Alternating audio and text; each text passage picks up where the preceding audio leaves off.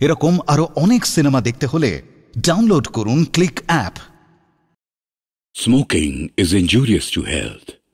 It causes cancer ধূমপান স্বাস্থ্যের পক্ষে ক্ষতিকর। এর ফল ক্যান্সার। মদ্যপান স্বাস্থ্যের পক্ষে ক্ষতিকর। Consuming alcohol is injurious to health ডাইনি এ আসামির নিজের স্বীকারোক্তি। অথচ আসামির পক্ষের সমর্থনে বলা হয়েছে যে গ্রামের মধ্যে সম্পর্কহীন নিঃসঙ্গ জীবনযাপন করে বলি তার প্রতি এই সন্দেহের সৃষ্টি হয়েছে। এ শুধু গ্রাম্য কল্পনা, আসামি নিষ্কলঙ্কা চরিত্রা। তার মতো এক জরাজীর্ণ বৃদ্ধা, নির্বান্ধব, অসহায় আর মনির পক্ষে এ হত্যা শুধু অস্বাভাবিক নয়, একান্তই অসম্ভব। কিন্তু আজ এই বিশ বৎসর যাবৎ আসামি তার নিজের গ্রামে, নন্দনপুরে এবং আশেপাশের গ্রামগুলিতে তারা ডাইনি বলে প্রখ্যাত বা কুখ্যাত। যদিও আজকের এই বিংশ শতাব্দীতে আমরা ডাইনির অস্তিত্বে বিশ্বাস করি না, তবুও এ কথা কোনো ক্রমই অস্বীকার করা যায় না যে অলৌকিক ক্ষমতা লাভের লোভে মানুষ যে হীন বর্বরতার পরিচয় দেয় এবং ধর্মাচরণের নামে যেসব ভয়াবহ পৈশাচিক অপরাধ আজও অনুষ্ঠিত হয়, তা সাধারণ আসামির পক্ষে কল্পনা করাও কঠিন। আসামি নয়নতারা এই মামলার অন্যতম পলাতক আসামি তান্ত্রিক ভৈরবের সাহচর্যে। শিশুকাল থেকেই তান্ত্রিক আচার ও আভিচারিক ক্রিয়াকলাপে ক্রমশ অভ্যস্ত ও আসক্তা হয়ে ওঠে। এবং তারই ফলে এই নৃশংস শিশু হত্যা। তাকিয়ে দেখুন, ওই জরাগ্রস্তা বৃদ্ধার দিকে। মনে হবে, ষাটের কোঠা সে বহু কাল পেরিয়ে গেছে। কিন্তু আজও তার বয়স চল্লিশ অতিক্রম করেনি। এই অকাল বার্ধক্য শুধু দেহের ওপর, তার বিকৃত মনের ইচ্ছা। আসামির চোখের ওই নিষ্প্রভ, মরা মাছের মতো নিষ্প্রাণ, নির্লিপ্ত দৃষ্টি শুধু তার হিংস্রতারই এক প্রচ্ছন্ন রূপ। এবং লক্ষ্য করে দেখুন, মাঝে মাঝে ঠোঁট নড়ে উঠছে, যেন কোন অশুভ মন্ত্র উচ্চারণ করে চলেছে। আসামির সঙ্গে জড়িত প্রতিটি দুর্ঘটনার সময় তার চোখে মুখে ওই একই অভিব্যক্তি দেখা গেছে। প্রায় প্রত্যেক সাক্ষীর জবানবন্দিতেই তার উল্লেখ আছে। এই জবানবন্দিগুলি ধারাবাহিকভাবে পর্যালোচনা করলে আসামির জীবনের প্রকৃত পরিচয় প্রায় পাওয়া যাবে। এবং তার থেকেই তার চরিত্র সম্বন্ধে সম্যক জ্ঞান লাভ করা সম্ভব।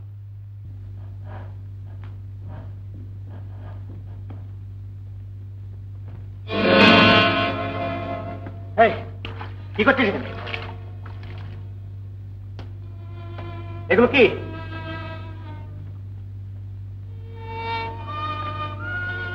এই তোমার টিপুজ্জামান টিপু কোথায়?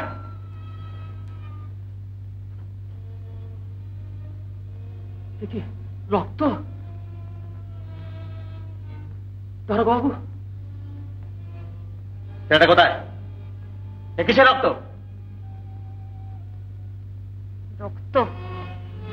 জানো না আমি যাইনি মেরে ফেলেছি আমার কাছে কারোর রেহাই নেই আমি ওকে মেরে ফেলেছি तिवारी इसका पर में थोड़ा नजर रखो इसको थाना में ले जाना होगा দেখো দেখো দেখুন দেখুন বাচ্চা ছেলে পায়ের দাগ হ্যাঁ দেখি এ তো দেখছি আরেকটা পায়ের ছাপ হ্যাঁ জুতো পরা ছিল স্যার ওই ভৈরবের পায়ের ছাপ। ক্যাম্বিসের জুতো সারাক্ষণ সে পায়ে পড়ে থাকে। আমার একটা সন্দেহ ছিল যে সঙ্গে কেউ আছে। আর লাশটাকেও সেই সরিয়েছে। ঠিক ধরেছেন স্যার ঠিক ধরেছেন। এ হচ্ছে ভৈরব। ভৈরব ছাড়া আর কেউ নয়। আর আমাদের এখানে কিছু করার নেই।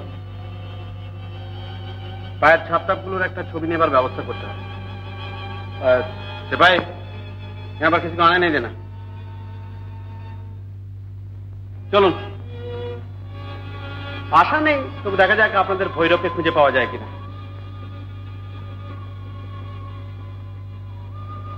চলুন। জামা টামাগুলো শনাক্ত করে থানায় আপনার একটা স্টেটমেন্ট দরকার। এরপর আসামির অপরাধ সম্বন্ধে সন্দেহের আর কোনো অবকাশই থাকতে পারে না। এই হত্যা আরও ঘৃণিত। আরও নৃশংস হয়ে ওঠে। যখন দেখি অসহায় শিশু যে নিজের প্রাণ রক্ষা করার চেষ্টাও করতে পারে না, যা হয়তো একজন পরিণত বয়স্ক মানুষের পক্ষে সম্ভব, তাকে এইভাবে হত্যা করা হয়েছে।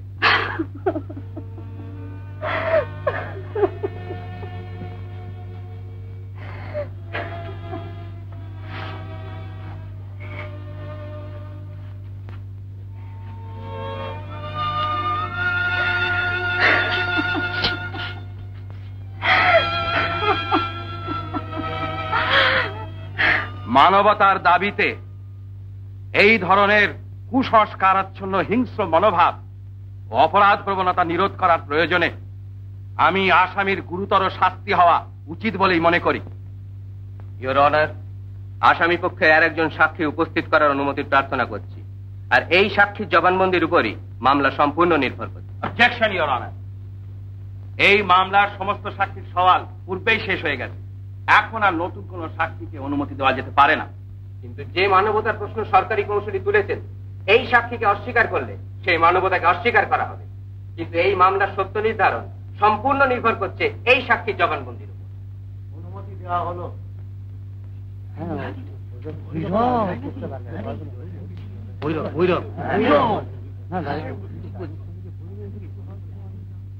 আমি প্রতিজ্ঞাপূর্বক কহিতেছি যে আদালতে দাঁড়াইয়া যা বলিব সব সত্য বলিব সত্য বই মিথ্যা বলিব না। ধর্মাবতার আসামি নির্দোষ সে ডাইনি নয়। কোনো অপরাধ সে করেনি।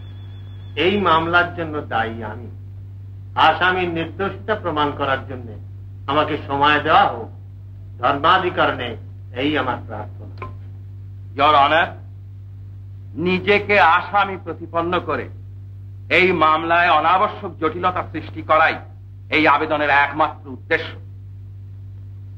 আপনি কি বলতে চান, নিহত শিশুর এই রক্তমাখা জামার, এই রক্তের দাগ যা নররক্ত বলে প্রমাণিত এবং ঘটনাস্থলের ও হত্যার এই সমস্ত অকাট্য নিদর্শন এবং ঘটনা সম্বন্ধে নন্দনপুর এবং আরও দশটা গ্রামের প্রত্যক্ষদর্শী সাক্ষীর সমস্ত বিবরণী মিথ্যা, কেবলমাত্র আপনার বিবৃতি সত্য।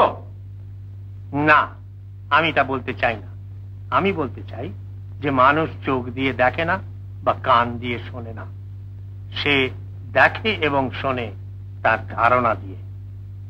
কাজী, সাক্ষীরা, এই ঘটনা সম্বন্ধে যা কিছু দেখেছেন এবং শুনেছেন, তার মূলে রয়েছে তাদের সেই ধারণা যে আসামি ডাইনি আর আমি তারই সাহায্যকারী তন্ত্র সাধক ভৈরব। সরকারি সাক্ষীরা আরও বলেন যে প্রতি দুর্ঘটনার সময় এই আসামি নয়নতারার চোখে মুখে এক অদ্ভুত অভিব্যক্তি ফুটে ওঠে। হ্যাঁ ফুটে ওঠে। কিন্তু তা কেন? তা কি তারা জানতে চেয়েছেন? বাপ, মা হারা শিশু, গ্রাম সম্পর্কে এক দাদার ঘরে মানুষ শৈশব থেকে তার উপরে যে ভয়ানক অত্যাচার এবং নির্যাতন চলে তারই আতঙ্কে সে সাহস করে হাসতে বা কাঁদতে ভুলে যায়। ক্রমে সেটা তার স্বভাবে দাঁড়িয়ে গেল। তাই আজও দুঃখে বা আনন্দে তার চোখ ঝাপটা উঠে এবং ঠোঁট দুটি থরথর করে কাঁপে। এই দেখো কি বলেছিলাম? চাকরি হয়েছে? হুম পরশু দিন থেকে কাজে যোগ দিতে হবে কাউকে কিচ্ছু বলি না এখন। না আমাদের বিয়ের আর কোনো বাধা নেই। না হয় না। এ কিছুতেই হতে পারে না। কেন হতে পারে না নয়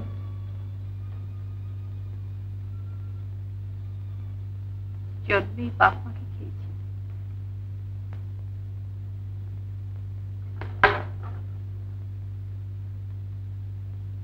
সবাই বলে আমি অপরা রূপ নেই গুণ নেই। ছি ছি। না না। শোনো সাধু দত্তের মেয়ে ময়নার সঙ্গে তোমার বিয়ে সব পাকা হয়ে গেছে। তোমার বাবা মাও দিন তারিখ ঠিক করে রেখেছেন। আমার মতো একটা অপয়াকে তুমি বিয়ে করবে? তুমি বিশ্বাস করো? সত্যি কোনোদিন আমি ভাবিনি। তা না হলে বাবা বান মতে দিয়ে আমিও বাড়িতে বসে থাকতাম। তুমিও জানো সেটা। তবু কেন যে বারবার নিজের ভালো মন্দ কি তুমি কোনোদিন বুঝবে না? সাধু দত্ত বড় মানুষ। কত প্রতিপত্তি তার গায়ে। তার মেয়েকে তুমি বিয়ে করো।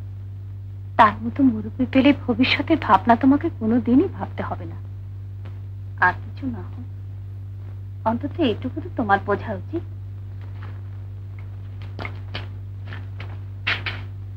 আমি পুরুষ মানুষ। ভালো, মন্দ, উচিত, অনুচিত আমি বুঝব আমি তোমার কোনো কথা শুনতে চাই না। মনে কোনো দ্বিধা রেখো না। এই বিবাহ সম্পূর্ণ ত্রুটিহীন। আমি কোনো সাধারণ সংস্কারও অবহেলা করিনি। আমার রক্তাম্বর, তোমাদের কৌশিক বস্ত্র, আর পুষ্পমাল্য তোমাদের স্বর্ণাভরণের স্থান পূর্ণ করেছে। আশীর্বাদ করি, তোমরা শাশ্বত জীবনের অধিকারী হও। শাশ্বত শান্তি তোমাদের জীবন মধুময় করুক। আজ থেকে তোমরা সত্য বন্ধনে চিরবদ্ধ হলে। এইবার ভক্তি ভরে পরমায়ু প্রার্থনা করো। সম্প্রিয় রৌতীষ্ণ শ্রীমনস্তমানৌ। পশ্চিম শরদশতম জীবেম শরদশতম শ্রীনুমাম শরদশতম নয়ন নয়নবু আবার না আনব এই দেখো কি বলেছিলাম। এবার আমার কথা বিশ্বাস হবে তো? কি? কাছে কে ভৈরব কাকার। বাবা মা ফিরে এসেছেন। বাবা মা ফিরে এসেছেন? বাবা মা ফিরে এসেছেন? আমাদের বাড়ি ফিরে যেতে লিখেছেন না সত্যি?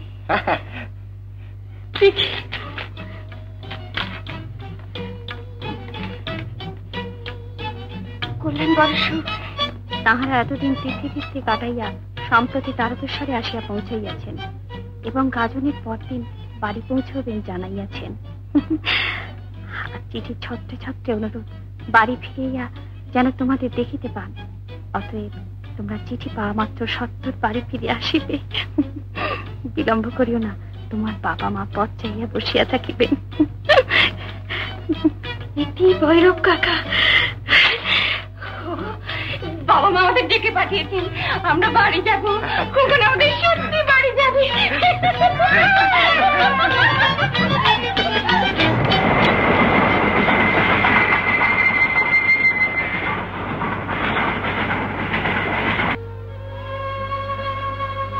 মা আমায় কিছু বলবেন? ভিটে ভাতি দিতে রইল না। তুমি বাড়ির বউ।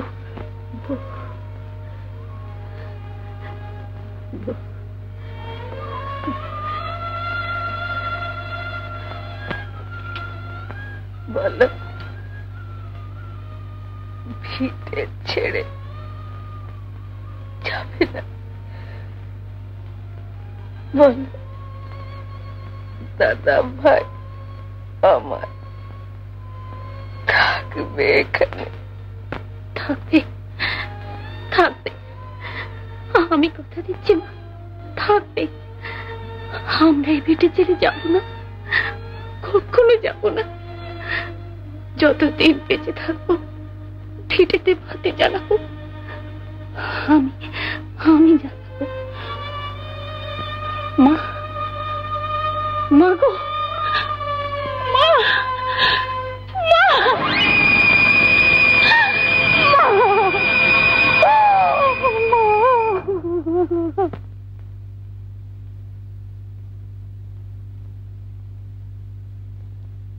শূন্য গৃহে সদ্য মৃতের সেই নির্জন ঘরে, সেই রাত্রে শুধু একা জেগে বসেছিল নয়ন, শ্মশান থেকে স্বামীর ফেরার অপেক্ষায়।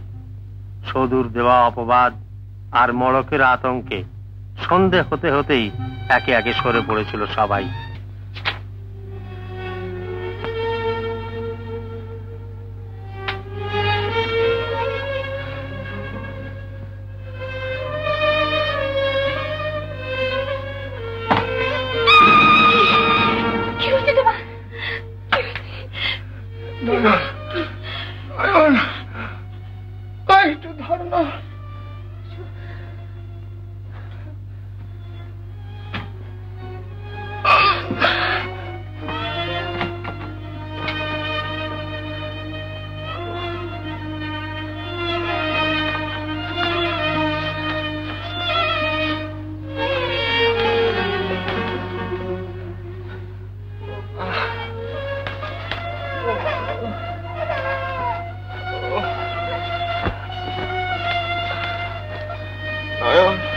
বলো।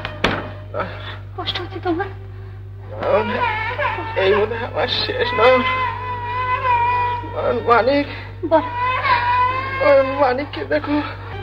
কি হলো?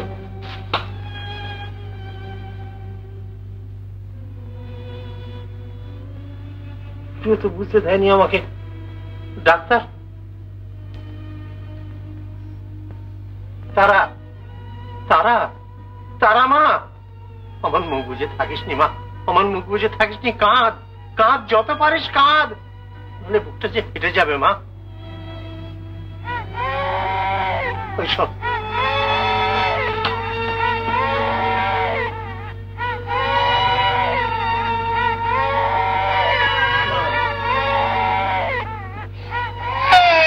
চেয়ে দেখ দেখ। মেয়েকে নে। এখন এই যে তোর সব, মা। এই যে তোর সব।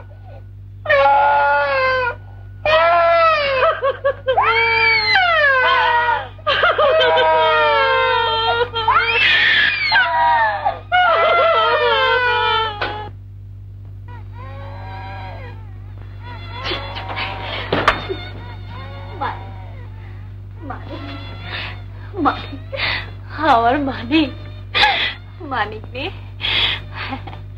আমি যাব আমি যাব, আমি শুধু তোর জন্যই যাব এখান থেকে। মায়ের আদেশ আমি আমরা আবার ফিরে আসব।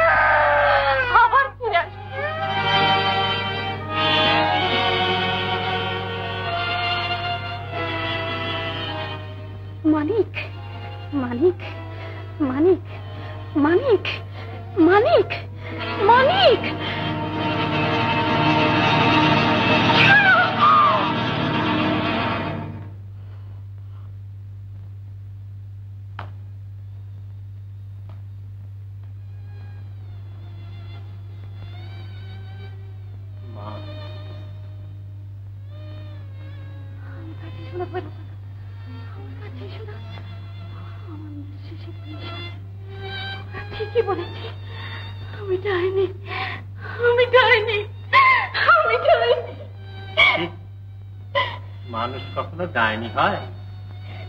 আমার ওখানে চল, মা। আজ থেকে বাপ বেটিতে আমরা একসঙ্গেই থাকব।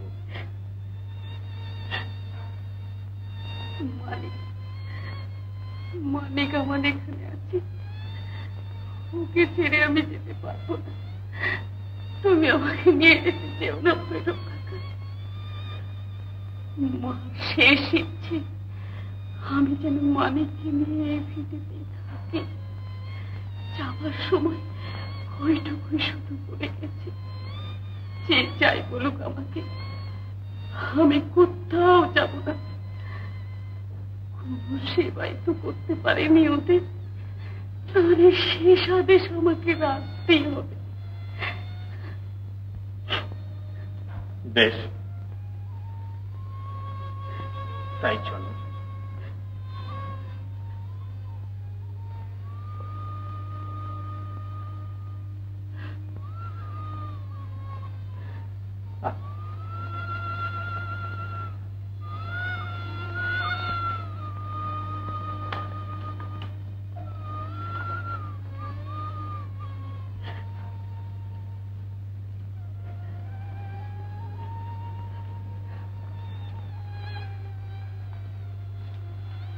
বাগদিদের বুড়ি কাউকে পাঠিয়ে দিই রাত্রিরে এসে থাকবে এখন। না এই কালা মুখ আর আমি কাউকে দেখাতে পারব না। মণিকুলো গা ছেড়ে চলে গেছে। পাড়ারও কেউ আসবে না। একলা? আমার আবার ভয় কি? আমি তো ডাইনি। তুমি মাঝে মাঝে খোঁজ নিও। তাহলেই হবে। ধর্মাবতার ছেলেবেলা থেকে তার জেদ আমি জানি। তাই নিঃশব্দেই ফিরে গেলাম। সেই যে সে ঢুকলো, বহুদিন আর তাকে কেউ বাড়ির বাইরে দেখেনি।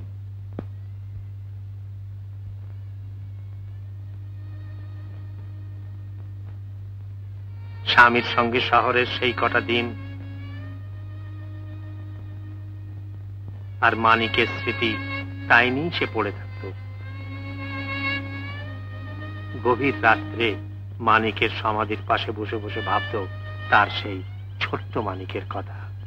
মনে করিয়ে না দিলে খাওয়ার কথাও মনে পড়তো না তার।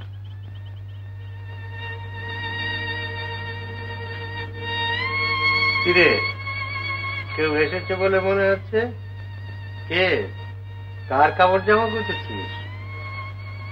দেখবে?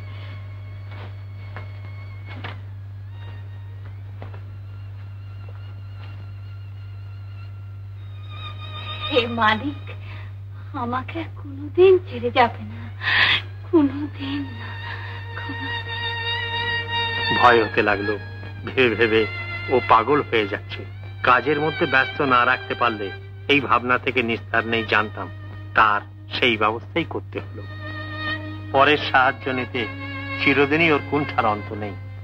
সেও যেন হাঁপ ছেড়ে বাঁচল। দিন রাত হাড় ভাঙা খাটুনি খেটে একবেলার পেটের ভাতের ব্যবস্থা হতো। তবু জিনিসগুলো হাটে পাঠাবার ব্যবস্থা করা ছাড়া আর কোনো সাহায্যই সে আমার কাছ থেকে নিতে রাজি হতো না।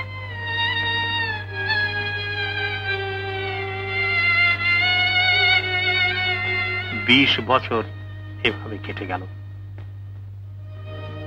বার্ধক্য চিহ্ন ভাঙা চলা জীবনটাকে কোন রকমে জোড়াতালি দিয়ে টিকিয়ে রাখার চেষ্টা। ভালো মা রে? কে কাঁদছিস ওখানে? কে তুই? ভালো মা আমি তো গায়ের কারও ছেলে ধরে আনতে চাইনি আমার মানিক আমার কাছেই থাকবে। তাতে কার কি? যার যা খুশি ভাবুক যা ইচ্ছে তাই করুক। এতদিন বাদে মানিককে আমি ফিরে পেয়েছি। ওকে আমি আর রেখে আসতে পারব না। আমি ওকে কিছুতেই ছেড়ে দিতে পারব না। সবাই তো জানে আমি ডাইনি। তুমি ডাইনি হতে যাবে কেন? ডাইনি তো ওইটে। ওইটা কে? ওই যে বাবা যাকে বিয়ে করে এনেছে ভালো মা বলে ও ডাইনি। ভালো মা ভালো মা আবার কে? ভালো মাই তো আমাকে মানুষ করেছে। আমার তো মা নেই। কি ব্যাপার বলতো? সব তো আমি জানি না। আমি যেটুকু বুঝলাম তাতে মনে হয় স্বপ্ন কষ্ট দিত। হ্যাঁ খেতে দিত না আটকে রাখতো কার সঙ্গে মিশতে দিত না। ভালো মা ঠিকই বলেছিল ওর কাছে আর কিছুদিন থাকলে আমাকে ঠিক মেরে ফেলতো। মেরে ফেলতো? হ্যাঁ তাই তো আমি পালিয়ে এলাম। ও কি হয়েছিল বলো তো বাবা? দেখো না সেদিন ছুটির দিন সারাদিন তবু আমাকে আটকে রেখে দিয়েছে।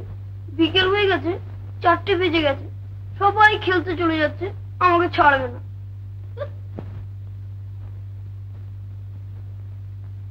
দেখি।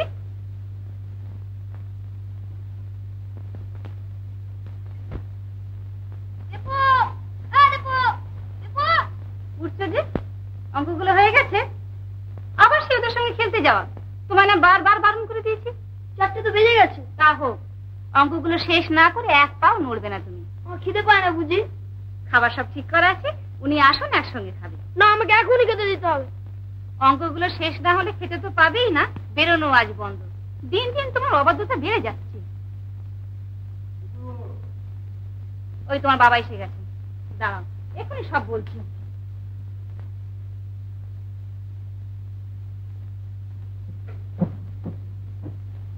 কি খবর? ঠান্ডা? দীপু নেই বুঝি? না বকুনি খেয়ে ঘুম হয়ে বসে আছে। কি করেছি সবাই? পাড়ার ওই ছেলেগুলোর সঙ্গে মিশে এত দুষ্ট হয়ে যাচ্ছে তোমার তো সময় নেই একটু শাসন করবার। এভাবে ছেলে পুলে মানুষ হয়? ও ভারী আমার ছেলে মানুষ করণে এলে এসেছেন। নিজের ছেলে হলে দেখতাম। ওই জন্যই তো পাঁচ বছরের মধ্যে নিজের পেটেও একটা এলো না। ভালো জি। যাই। খাবার দেওয়া হয়েছে দীপুকে পাঠিয়ে দাও। দরদ কত? সেই কখন থেকে ছেলেটা আমার মুখ শুকিয়ে বসে রয়েছে। এতক্ষণ আমার দরদ উঠলে উঠেছে। বলে যে কথায় বলে না বলে মাছে দরদ দিবে বেশি তাকে বলে ডন। জানা যা যাচ্ছে যা। আমি যাব না যে ডাইনির পাল্লায় পড়েছো না গেলে কি রক্ষে রাখবে? মারবে। বাপি এখন বাড়িতে আছে তাই যেন মনে থাকে। বাপি? তোর বাপি কে সে বাপি আছে রে? মা মরলে বাপ কালুই। যা বাবা দেরি করিস না। লক্ষ্মী বাবা আমার দীপু দীপু। চল বাবা চল। কেন মেঝে মেঝে মারধর খাবে। লক্ষ্মী বাবা আমার যা।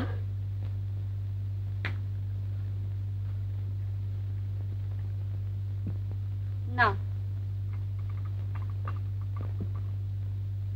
ওখানে দাঁড়িয়ে কি করছ? বসে এসে খেয়ে নাও। না আমি খাব না। কেন? খাবে না কেন? কতবার বলেছি শোনেনি এখন আবার। তুই মার কথা শোনো। কেন শুনব? ও কি আমার নিজের মা?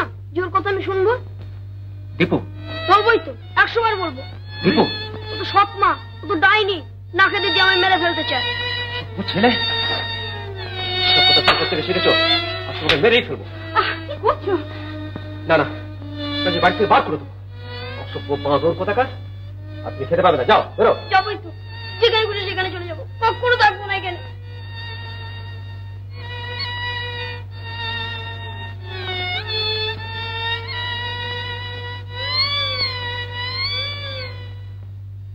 ও তাই তুমি পালালে। হ্যাঁ না তোমার মেরেই ফেলতো। দিন রাত খালি বাবার কাছে লাগাবে। আমায় মা বলে ডাকে না মা বলে ডাকে না। তাই তো বাবা আমায় মারবে মিছি মিছি তুই আবার একটা মায়ায় জড়াচ্ছিস। বুঝতেই তো পারছিস ওকে তুই রাখতে পারবি নি। আমি যাব না আমি এখানে থাকব হ্যাঁ থাকবে থাকবে তুমি এখানে থাকবে বাবা। তুমি আমার কাছে থাকবে। আমার কাছে যখন থানায় গেছে তখন পুলিশ আজও কালো আসবেই তোর বাড়িতে ছেলেটা এতটুকু একটা জিনিস পায় তখন তখন তুই হ্যাঁ পাবি কি করে?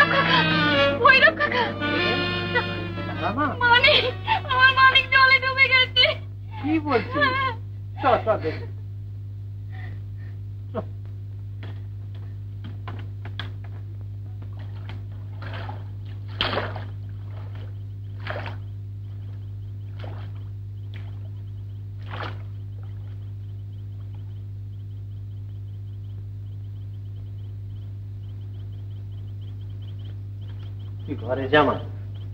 তোর মানিক ঠিক ফিরে আসবে। না না আমি যাব না। আমি যেতে পারব না। মানিক ডুবে পড়েছে। আমি যে দেখেছি আমি যে নিজে জলে পড়ে যাব পাগল হয়েছিস নাকি? এই হাঁটু জলে কেউ ডুবতে পারে? আমি যাইনি। আমি যাইনি। আমার কাছে যে আসবে। সে এমনি করে চলে যাবে। মানিককেও আমি মেরে ফেললাম।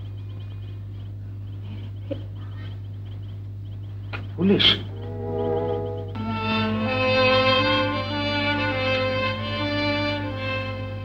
ঘরে যা। নিশ্চয় সাধুচরণের কাজ। তুই ঘরে যা। আমি যাচ্ছি। যেমন করে হোক তোর মানিককে ফিরিয়ে আনতেই হবে। নইলে কেউ বিশ্বাস করবে না। যা, তুই ঘরে যা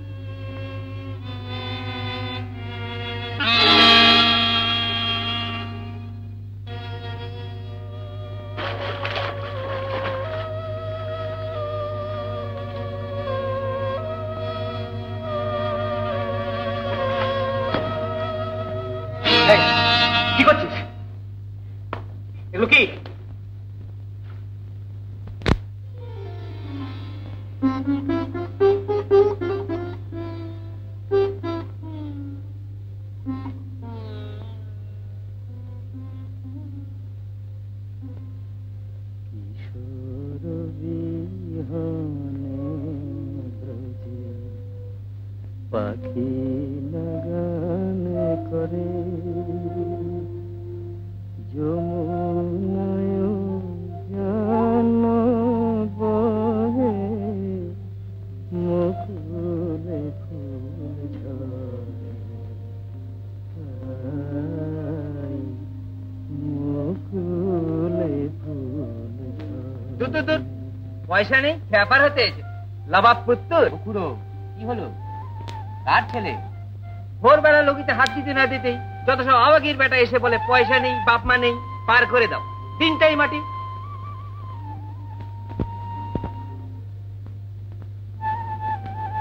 তোমার বুঝি কেউ নেই গোপাল?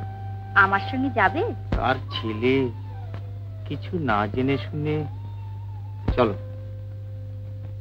কিশোর বিহনে পাখি নাগান করে। যমুনায় জান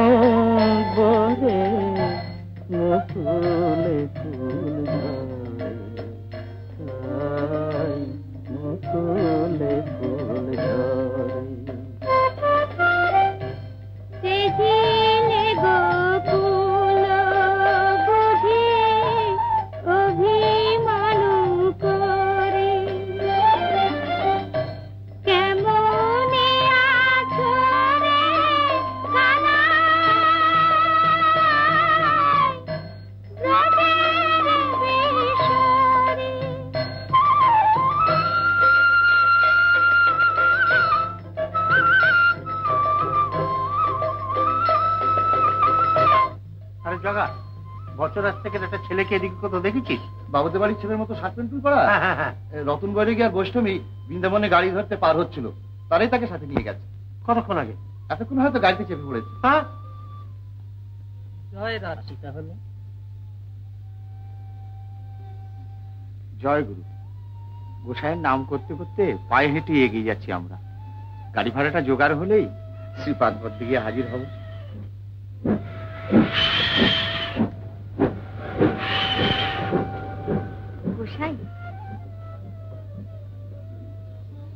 এবার না হয় নাই বা গেলে আর।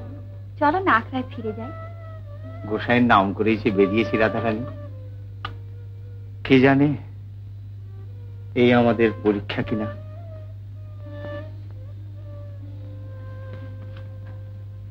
বৃন্দাবন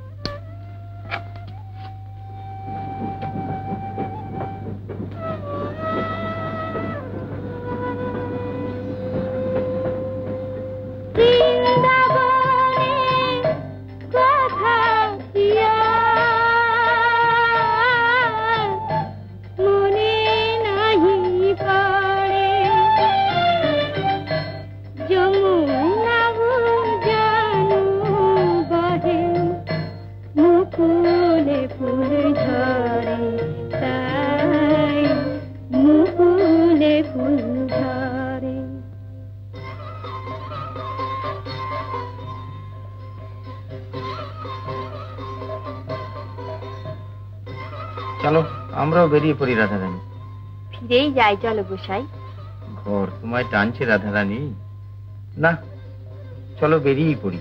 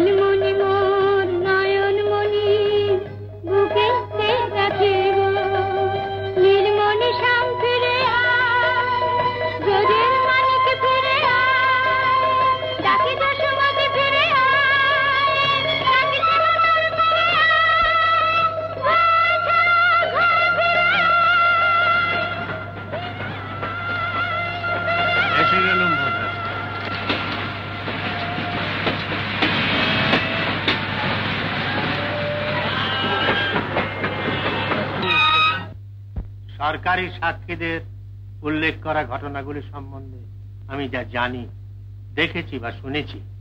এবং আমার কন্যাধিকা এই আসামি নয়নতারা সম্বন্ধে আমার যে ধারণা, ধর্মাধিকরণে তা সবই জানানো হলো। এখন আমাকে সময় দেওয়া সঙ্গত কিনা আদালত তার বিচার করুন। ছেলেটি সঠিক সন্ধান না জানলেও সে যে আজও জীবিত, সে বিষয়ে আমার কোনো সংশয় নেই। মামলার শুনানির শেষ তারিখ ধার্য হওয়ায়। অনুসন্ধান অসমাপ্ত রেখেই আমাকে এখানে উপস্থিত হতে হয়েছে। যতদূর খবর পেয়েছি তাতে মনে হয়, সে এই অঞ্চলেই কোথাও আছে। আমি তার অনুসন্ধানের ব্যবস্থাও করে এসেছি। তাছাড়া, সে যে জীবিত, তার প্রত্যক্ষ সাক্ষী একজন বৈষ্ণব এখানে উপস্থিত আছেন। তাই আমার প্রার্থনা, তাকে অনুসন্ধান করবার সময়টুকু অন্তত আমাকে দেওয়া হোক। অনার ছেলেটি এতদিন কোথায় কীভাবে ছিল? সমস্তই আসামির সাক্ষী অবগত আছেন। একমাত্র ছেলেটিকেই সশরীরে উপস্থিত করা যায়নি। অনার সাক্ষ্য প্রমাণের মধ্যে দিয়ে যেসব তথ্য আদালতের সামনে উপস্থিত করা হয়েছে তার কোথাও কোনো ফাঁক নেই। সাক্ষ্য অভ্রান্ত প্রমাণ অকাট্য জেরা কোনোখানে কোনো ত্রুটি দর্শাতে পারেনি। কুসংস্কার সম্পন্ন তন্ত্রমন্ত্রের বিশ্বাসী ভৈরবের ভাবাবেগ পূর্ণ কাহিনীটি নিঃসন্দেহে কল্পিত। শিশুটির আজ আর কোনো অস্তিত্ব নেই।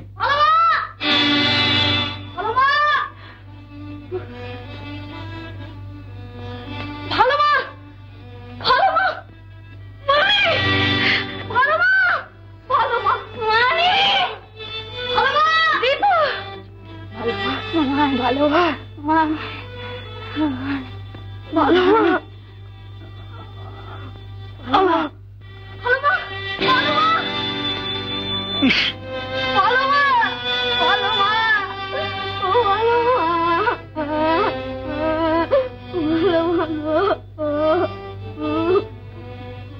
আপনাদের কি অভিমত?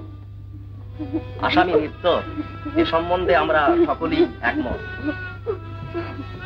আসামির নির্দোষিতা সম্বন্ধে আমি জুরিদের সহিত একমত। আসামিকে খালাস দেওয়া চলো ঘরেই ফিরে যাই দাদু।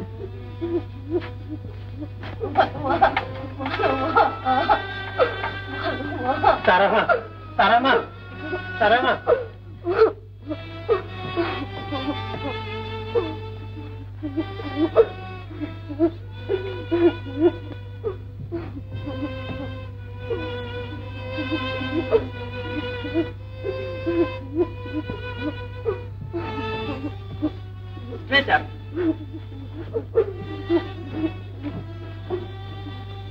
তারা মা তারা মা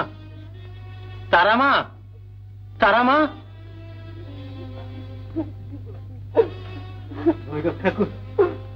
তুমি তোমরাই এর জন্য দায়ী। ওই ছোট্ট শিশু যাকে চিনতে এক মুহূর্তের জন্য ভুল করেনি, এত কাছে থেকেও তোমরা তাকে বুঝতে চাওনি। মাতৃ স্নেহে মহিমময়ী হয়ে যে মাথা উঁচু করে চিরদিন বেঁচে থাকতে পারত, তাকে তোমরা বললে যায়নি। দিলে তার মৃত্যুদণ্ড কিন্তু তোমাদের কাছে আমার জিজ্ঞাসা কেন এমন হলো? কি অপরাধ করেছিল সে? মানুষের প্রতি মানুষের এই অবিশ্বাস অশ্রদ্ধা আর অহেতুক হিংসা এই বিংশ শতাব্দীতেও কি এর শেষ হবে না? দেখুন আপনাকে একটু আমাদের সঙ্গে যেতে হবে। ও।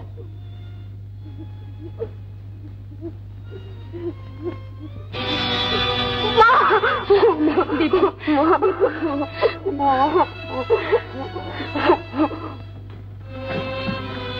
চলো।